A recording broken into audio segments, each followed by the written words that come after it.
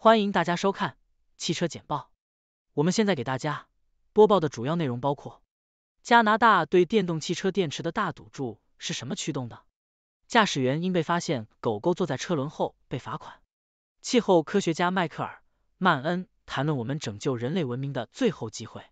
外国投资者对中国股票的净卖出达到九年来的最高水平。Lordstown Motors 将出售资产给前首席执行官。等等。请大家收看：加拿大对电动汽车电池的大赌注是什么驱动的？加拿大 CBC，加拿大联邦政府和魁北克省政府将共同出资二十七亿加元（二十二亿美元）为瑞典电池巨头 Northvolt 建造一座新的制造工厂。该项目预计将创造多达三千个就业岗位，目标是到二零二六年底实现每年六十 GWh 的电池单体制造能力。驾驶员因被发现狗狗坐在车轮后被罚款。BBC，斯洛伐克的一名车主因为在 Facebook 上发布了一张狗狗开车的照片而被警方罚款。车主声称狗狗跳到了他们的腿上，但警方的录像显示车内没有突然的动作。目前尚不清楚罚款是因为超速还是未能将宠物安全固定在行驶中的车辆上。警方已向驾驶员发出警告，要求他们在驾驶时安全的固定宠物。气候科学家迈克尔·曼恩谈论我们拯救人类文明的最后机会。卫报，著名气候科学家迈克尔·曼恩认为，尽管世界正处于气候危机的脆弱时刻，但仍有时间采取行动。在他的新书《我们脆弱的时刻》中，曼恩研究了四十亿年的气候历史，以了解我们当前的困境和可能的未来。他认为，虽然地球的气候有自然机制使其稳定下来的例子，但也有失控的例子。曼恩认为，避免灾难的关键是将全球变暖控制在一点五摄氏度以下。曼恩强调了气候末日论的兴起，即认为在气候危机上采取行动已经太迟了。他认为这种观点是误导性的，仍然有机会防止灾难性后果，但需要重大的政治意愿。曼恩还对即将举行的联合国气候峰会 COP 二十八表示担忧。该峰会由阿拉伯联合酋长国阿联酋。主办阿联酋计划大规模扩张石油和天然气产业，这与峰会的目标不相符。曼恩认为，允许阿联酋主办这一活动将使他们的行为合法化，并削弱了迫切需要采取行动的紧迫性。最终，曼恩认为，解决气候危机的障碍主要是政治上的，而不是技术或物理上的。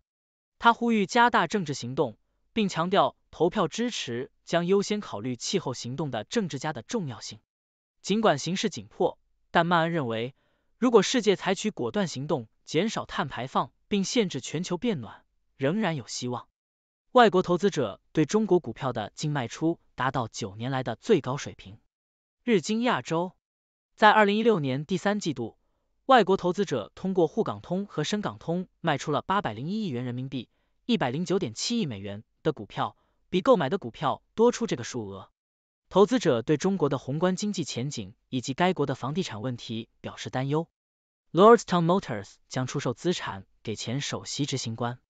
华尔街日报，Lost Capital 已同意以一千万美元的价格购买 Lordstown Motors 的资产，待法院批准。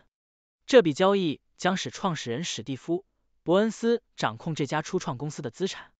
在二零二一年，一项调查发现。Lordstown Motors 在其 Endurance 皮卡预定披露中存在不准确之处后，伯恩斯离开了该公司。Lordstown Motors 在遇到资金问题，并未能从富士康获得资金后，于六月申请破产。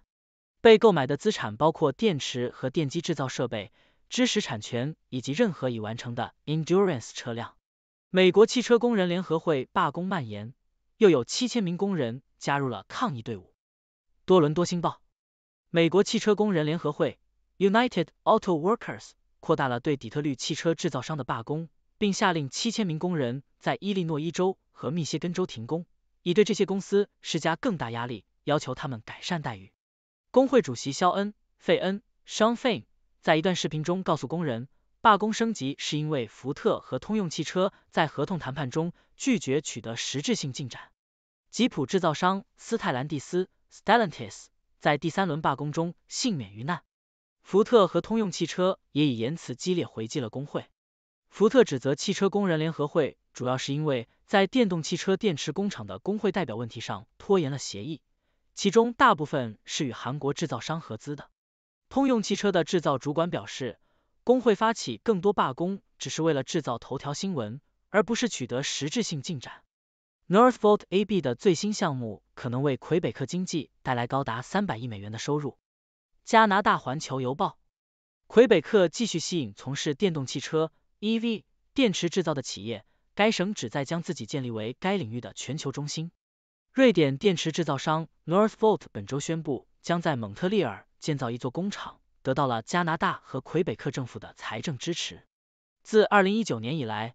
魁北克已经获得了一百五十亿美元的投资，预计总额将达到三百亿美元。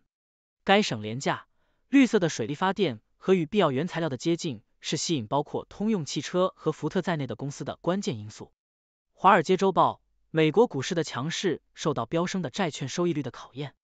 路透社：不断上涨的债券收益率引发了对美国股市的担忧，投资者担心大型科技和成长公司的股票可能面临风险。苹果、微软、谷歌母公司 Alphabet、亚马逊、英伟达、特斯拉和 Meta Platforms 今年引领市场上涨，占据了标普五百指数二零二三年总回报的百分之八十以上。然而，投资者担心股价上涨导致估值过高，如果债券收益继续对股票施加压力，这些股票可能面临风险。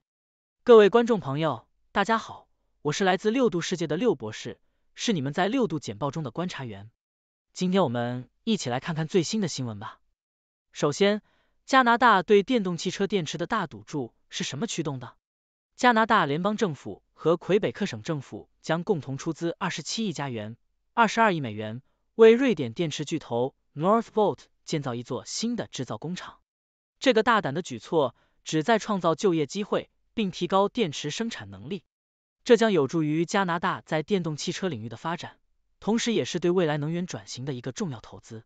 接下来是一则轻松的新闻：一位车主因为在 Facebook 上贴了一张狗狗开车的照片而被罚款。这真是一个令人啼笑皆非的故事。不仅警方对此进行了调查，甚至还有相关的警告。我想这起事件也提醒了我们，在驾驶时要注意车辆的安全，包括固定好宠物的位置。我们也关注到著名气候科学家迈克尔·曼恩。对我们拯救人类文明的最后机会进行了深入的讨论。他的新书《我们脆弱的时刻》研究了气候的历史和未来，提出了一些重要的观点。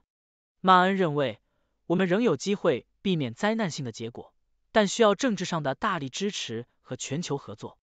他呼吁大家关注气候行动的政治家，并重申了投票的重要性。此外，外国投资者对中国股票的净卖出达到九年来的最高水平。这引起了人们对中国经济前景的担忧。然而，我们也看到了对魁北克经济的积极投资，特别是在电动汽车领域。这些投资将为魁北克带来大量的收入，并有望成为全球电池制造的中心。最后，我们看到了美国汽车工人联合会的罢工蔓延，并有更多的工人加入抗议行列。这一系列罢工是为了要求汽车制造商改善待遇，并对合同谈判的进展表达不满。这一事件引起了广泛的关注，并对汽车行业产生了影响。总结一下，今天我们看到了一些有趣的新闻，从加拿大对电动汽车的投资，到一位罚款的车主，再到气候科学家的观点和投资者对中国股票的担忧。这些新闻提醒我们关注时事，重视环境问题，并关心工人权益。希望大家也可以分享你们的想法和观点，一起来讨论吧。谢谢您的收看。上面播报的内容是六度团队推荐的全球专业媒体、智库、政府机构和行业专家的最新报道、分析简报。更详细的内容，请大家去这些媒体、智库的网站阅读。这些内容并不一定反映六度简报的立场，亦不能作为任何决策的建议。六度团队由专业媒体人、学者、科学家组成的独立新型媒体，大家可以根据自己的专业要求订阅各种简报。网址是。六 dobrief 点 com，您在世界任何地方都可以通过电邮收到六度简报。